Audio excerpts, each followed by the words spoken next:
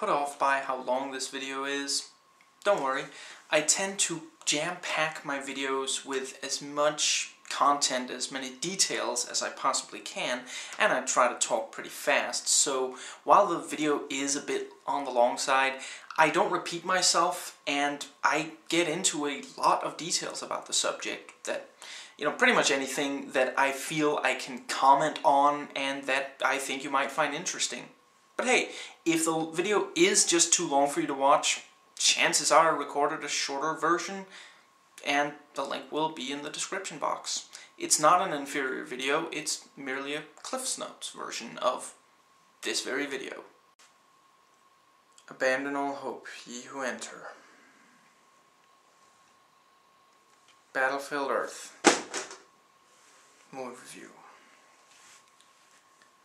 It's the year 3000 mankind is all but extinct and living in irradiated, irradiated areas because creatures from the imaginelessly named planet Psychlo, which are basically people in badly designed black armor with dreadlocks and a little bit of like a couple of them look like really ugly. One of them looks like pearl from blade 1 but apart from that they're basically just people. It's the most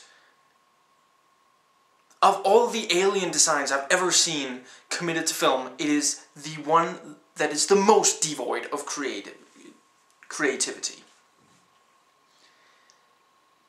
And they keep us as slaves because apparently, you know, the people who made this movie, you know, didn't realize that Planet of the Apes had already been made.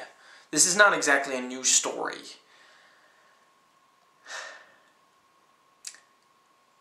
One of the humans, Johnny, gets captured and uses every opportunity he gets to try to escape. At one point, they hose him and some other humans down, and for some reason they're still clothed. I'd imagine that a bath would go easier if you took their clothes off, but whatever.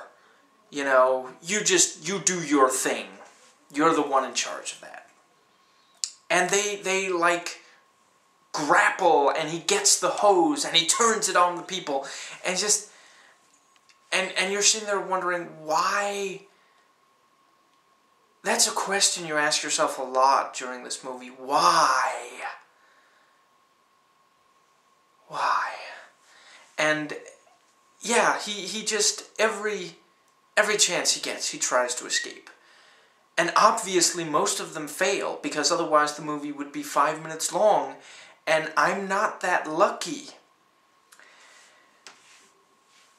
And suddenly, at some point in the movie, he does realize that maybe, mm, just, just maybe, he should think a little further forward, and fortunately for him, the humans in this movie are matched in their bottomless stupidity by the Psychlos. Because in spite of how many times the Psychlos see them attack or see Johnny... Johnny gets a gun in his hand very soon after he's first captured. This is not a spoiler. It happens in the first 20 minutes of the movie or so. By the way, the Psychlos, for being such utterly boring designs are built up like you wouldn't believe. I that's that's like one of the few things this movie actually does in any kind of decent level and then you know it's just a major anticlimax. Besides they actually spoil I mean you saw the cover before they spoil what the Psychlos look like. So yeah. But yeah, in spite of how many times just the Psychlos seem to be having this contest of who can outstupid the rest of them. Because they just, they don't pay any kind of attention to the, you know, I mean, the escape attempts they treat as a mild nuisance. And yeah, they just they don't take it at all seriously. I, I realize they think that the so as they call them man animals animals are stupid and they are in this movie they are beyond what I don't know maybe it's the radiation and maybe there's been inbreeding and maybe everyone was dropped on their head repeatedly as an infant. That would begin to explain the level of stupid. This was written by L. Ron Hubbard, by the way, so it really makes you question Scientologists. If you didn't already. Anyway, they think that the manimals are stupid, and so they don't. But still, it just it you couldn't possibly pay so little attention to yeah. The movie rips rips off a couple of other movies, Matrix, and I know Matrix, you know, right, this was like soon after The Matrix came out, and everyone was saying, you know, oh, this is ripping off The Matrix. But this really does, very, very clearly, and for no reason. The scene didn't need to be like that at all, and it just, yeah. And Star Wars. And then there are a couple of things in the film that just make absolutely no sense. There's one point, one of the dozens of escape attempts, is Johnny gets a brick and a gun well, yeah. he actually does, as I said before. But Johnny gets a brick and uses it to break the lock and run off, because apparently he didn't realize from the first couple of escape attempts that it's not going to be that easy. How does he get a brick? I don't know. I guess he finds one in, you know, they, they are, you know, actually I don't know what they're doing. At, at a couple of points they're seen like banging rocks, I guess, with with hammers and stuff. I, I don't really know what exactly it is they're doing. Some kind of slave labor. So, you know, obviously he gets like a brick from that. No, a tower has to be knocked down. How does a tower get knocked down, you ask? A plane flies into it and, and, and apparently through it. The crane, the plane, plane doesn't actually crash. Is there an explanation for why this plane crashed? No. No. There's there's no explanation. It just it's just bad writing. And that's going to be the answer to probably around 90% of the excellent questions and points raised about this movie. It's just bad writing. The acting is horrendous. John Travolta chews so much scenery that I don't know how there was any left for the others to. You know, I mean, John Travolta, you could actually make the case that maybe he's not exactly the best actor in the world. This has Forest Whitaker, and he he does the same. And that just blows my mind. The human stupidity, I just I just have to further make make the point. At, they find statues and rather than presume that maybe at some point man made statues, instead they figure that they must be gods that were frozen or people that they, they find mannequins and think that they're people who were frozen by angry gods and all this kind of thing. I realized that in the absence of proper evidence and reasoning and you know in, in such a situation when finding something that you just do not understand you will come up with a supernatural explanation. Well, that's quite often the case. But they just if, if even if even if one accepts the sheer level of mental retardation exhibited by the people. Actually, that still leaves. Why, why are the Psychlos so freaking stupid? How could they come up with all this advanced technology? Excuse me, advanced technology if they were that stupid? But anyway, let's say that the humans are that stupid. You don't have to show it to us. There are some things that are so obnoxious and intolerable that you tend not to see them in film. And when you do, it's played for laughs. It's so that people can sit and mock something for being that stupid. But in this movie, it is not a joke. It's it's I guess it's it's played seriously basically. And it's fine that these people are that stupid, but the Hollywood standard for something like that when when when it's people that we're supposed to care about. I, I couldn't bring myself to care about anyone or anything in this movie. When it's people we're supposed to care about, you tone down the intolerable. That's that's just what you do. You know, this this is not some indie film that is showing the harsh reality of something and you still you accept it because it's real, it's human. No, this is this is pure Hollywood. It's it's in fact extremely badly written even by Hollywood standards. Even by like the the worst Hollywood I, I think this is supposed to be a popcorn movie and and I guess it basically is an action sci-fi film.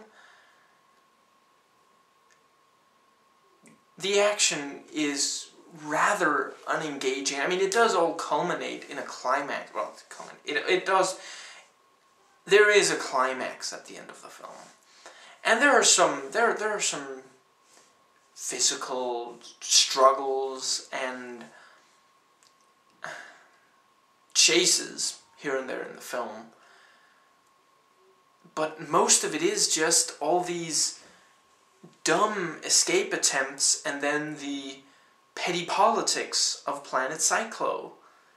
And that actually, I mean, John Travolta's character, Terl, I think. Yeah, this this movie melted my brain, so if I get names wrong, that's that might be why. Terl he does have a character. There's something about how he he's basically like the security mm, that guy. He's in charge of security on this planet, you know, on planet Earth. And he doesn't want to be. He wants to be a conqueror. And he isn't allowed to be because it was basically something about he was like with a senator's daughter or something, and yeah, as revenge, as as punishment, he you know is made to you know remain security chief, and so he tries to outsmart his you know he he tries to make a plan to get you know off the planet and such, and and that actually, if you just took that subplot that that part of the plot out of the movie, you made it less intolerable tolerable uh, in the acting department, then that would actually maybe make for a decent enough short subject, I suppose. It's just that everything else in the film is unwatchable. I'd say a good third of the shots in this film just, just think about that. Third, a third of the shots in the film. At one point, I counted like 20 consecutive shots. Are Dutch. Dutch angle. Tilted camera. At points, it's actually downright disorienting, where it looks like someone is walking on the wall, or like they're, they're facing the wrong way or something. It just it confuses you. I I recently watched a nostalgia chick video where she talked about this movie, and I think it was Roger Ebert that she quoted his review of this film about how the director understands that sometimes in film the camera will be tilted to the side. But he does not understand why. And that that very much sums up the cinematography for this movie. The special effects are dreadful. The most of the animation does not top what could be achieved in the 80s. And once again, this this movie is from like 2000. The guns of the Psychlos are a very good example. They fire these tiny little green, I guess, laser beams. The original, you know, the original Star Wars movie, 1977. I'm not talking about the 19, 1997, you know, special edition. I'm talking about before. The lasers in that look better. And the guns are wildly, it, what's it called? Inconsistent, by the way. If a shot hits debris, it will go flying off. But if it hits a person, it'll just stun them.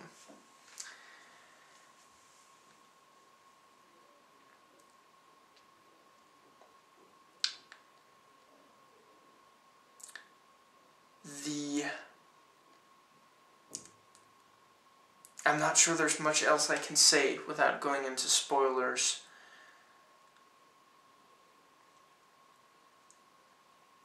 There are some very odd editing moments here and there, like something, part of a conversation is repeated like two or three times, I guess for emphasis.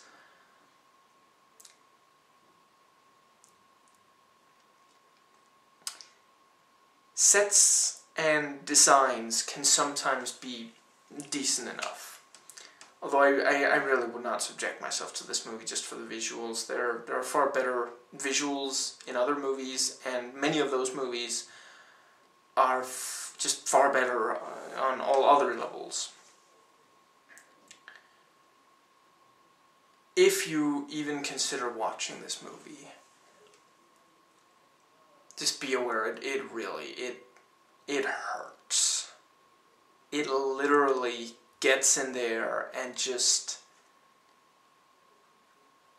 MST3King it is almost a must just just to get through it. And even so, it'll it'll hurt bad.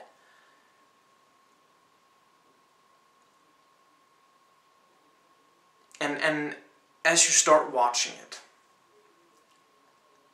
as you start watching it and think that it's it's as it's it's impossibly stupid, it gets worse. It actually keeps getting worse, and and every consecutive as the film progresses, it just it it only keeps getting worse. It never gets better, and it it even even when you think that it can't possibly get stupider, it keeps getting stupider until it gets to the very end. And the mountain of stupid is is overpowering and the film finally ends. And the credits roll.